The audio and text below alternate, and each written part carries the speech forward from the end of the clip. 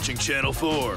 Chopper News. Other news teams only have a traffic chopper, but at Chopper News, every department has a helicopter. With Andrea Gutierrez in the anchor chopper. Good evening and welcome to Chopper News. Our top story tonight the big baseball game. For that, we go to Tom Pickford and the sports chopper. Tom?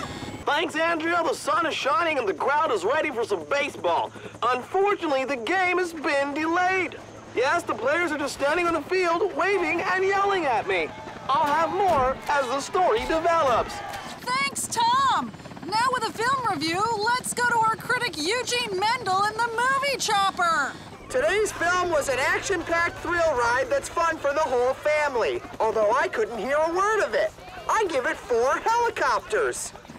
And now, Sophie Sanders in the Human Interest Chopper brings us a fun story about the local zoo's newest resident, the world's tallest giraffe. Sophie!